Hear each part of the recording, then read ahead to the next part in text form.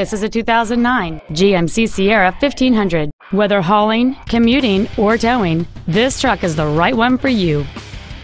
It has a 5.3-liter, eight-cylinder engine and an automatic transmission. Its top features include memory settings for the seat's positions, so you can recall your favorite alignment with the push of one button, heated seats, cruise control, leather seats, a locking rear differential, a trailer hitch receiver, chrome wheels, a low tire pressure indicator, air conditioning with automatic climate control, and satellite radio. Call or visit us right now and arrange your test drive today.